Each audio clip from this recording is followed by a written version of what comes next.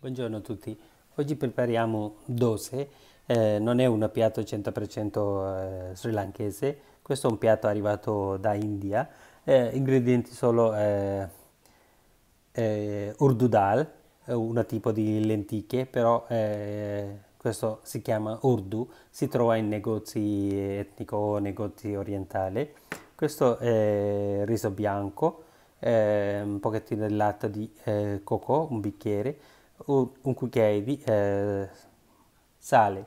Normalmente loro non aggiungono latte di cocco, io aggiungo latte di cocco per dare sapore. Loro, normalmente loro eh, preparo con eh, acqua, eh, con questi due tipi di eh, grani, diciamo riso e urdu.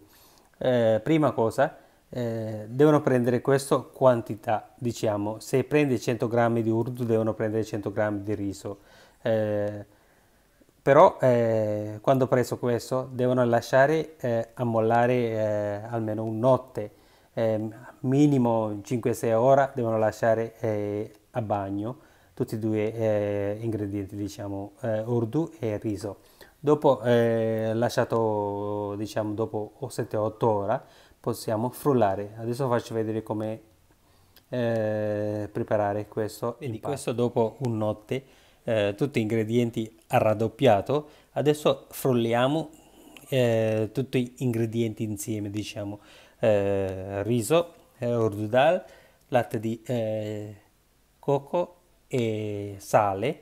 Eh, può aggiungere un bicchiere di, o un bicchiere e mezzo di acqua perché devono eh, rimanere uno come un impasto per crepa o per impasto per pancake faccio vedere come eh, dopo fatto come eh, si vede questo eh, impasto. Vedi come eh, quando frullato questi ingredienti devono essere così.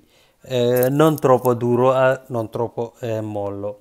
Se un pochettino duro si può aggiungere con acqua però se è troppo liquido non può fare niente.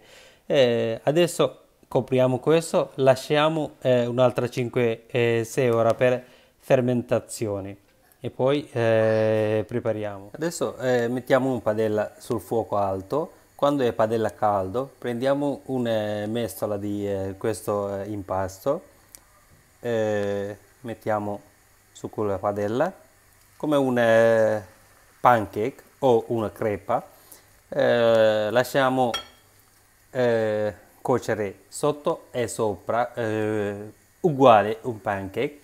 Eh, quando cotto si vede uguale un pancake. Eh, normalmente accompagna con eh, sambaru o insalata di cocco. Un piatto veramente buonissimo prova anche tu